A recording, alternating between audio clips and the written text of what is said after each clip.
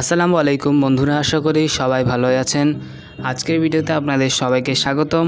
বন্ধুরা, আজকের ভিডিওতে আমরা রেডমি নাইন এবং রিয়েলমি নার্জো থার্টি এর মধ্যে মেইন মেইন বিষয়গুলো নিয়ে পার্থক্য গড়ে তুলব। আশা করি আপনাদের ভিডিওটি ভালো লাগবে। যদি ভিডিওটি ভালো লাগে, তাহলে অবশ্যই আমাদের চ্যানেলটিকে সাবস্ক্রাইব করবেন এবং পাশে থাকা বেল আইকনটি অবশ্যই ক্লিক করে অলে সেট করে দিবেন। আর যদি ভিডিওটি ভালো লাগে, তাহলে অবশ্যই ভিডিওটি লাইক শেয়ার এবং কমেন্ট করতে ভুলবেন না। তো চলুন বন্ধুরা বেশি দেরি না করে আজকের ভিডিওটি শুরু করা যাক।